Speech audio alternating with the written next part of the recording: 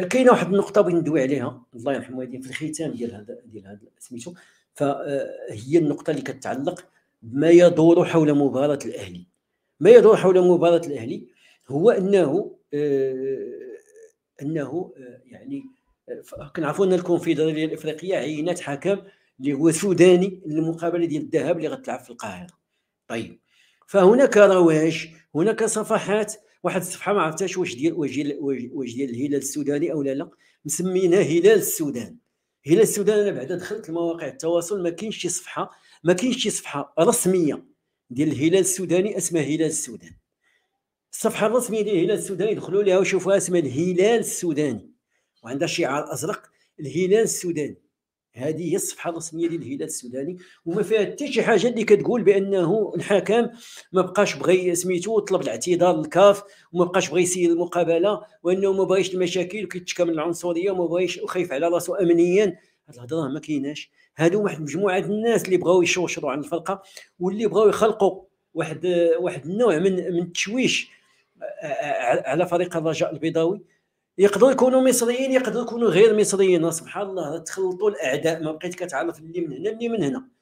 ولكن هذا تشويش وهذا مس بعدا بمصداقية لاكاف. لأن لاكاف ملي كتعين واحد الحكم فذاك الحكم هو اللي كيكون معين ما يمكنش يترفض تحت أي مبرر من المبررات إلا لاقتنعت اللجنه ديال الحكام ديال لاكاف بأن هناك أسباب وجيهه بينما هذا الحكم ما عندوش سوابق ما عندوش مشاكل أمنية ما عمره تسبب في شي شغب. حكم جيد من الأحكام من الحكام القويين. المصريين ربما في اطار ديك الحرب الإعلامية ديالهم بغاو يخرجوا وبغاو يخلقوا مشكل مع هذا الحكم ويقول لك راه راه لا راه السودانيين كان عندنا مشكل. راه بعدا الكاف مطالبة أنها تطبق القانون وأنها آه، يعني دير واحد البلاغ بأننا تشبتوا بهذا الحكم وأنه راه ما كاين حتى شي حاجة.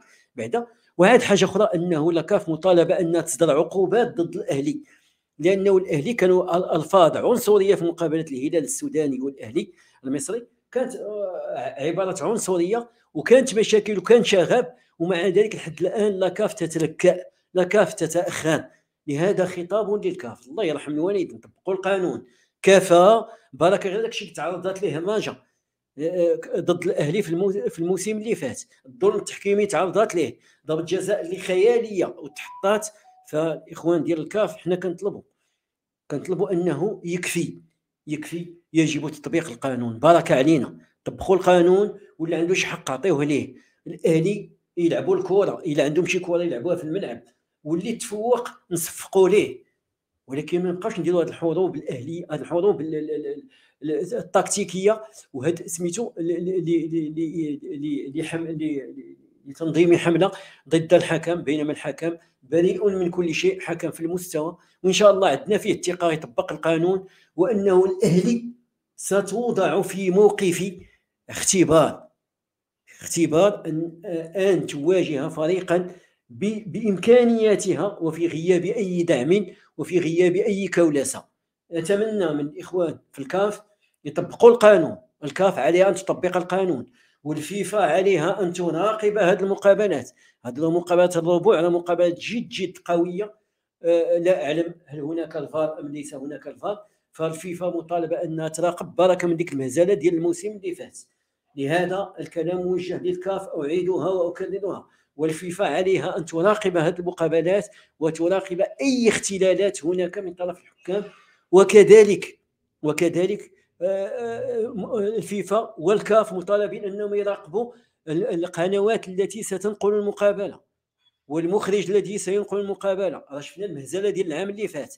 مخرج المقابلة أخفى لقطة من الزاوية المعاكسة تبين أن اللاعب الوردي لم يلمس الكرة بيده بل ضربت في رجليه. ومخرج المقابله أخفى اللقطة على غرفة الفار. في تحايل لم يسبق له مثيل في الكرة العالمية. لهذا راه الجماهير الرجويه دارت هاشتاغ ودارت راه كيدور في مواقع التواصل يطالبون بطبيعة الحال بتطبيق القانون وبكفى من التحيز للاهلي وكفى من من الحرب الأهلية التي تقوم بها الأهلي في مثل هذه المناسبات. هذا هو الكلام اللي بغيت نقول. وإن شاء الله الرجاء منصوره إذا كانت الرجاء تستحق نحن ندعمها فهي منصوره إن شاء الله. إذا كانت الأهلي تستحق فنحن سندعمها سنصفق لها. نحن عرفنا الرجوي معشر الرجويون بروح الرياضية.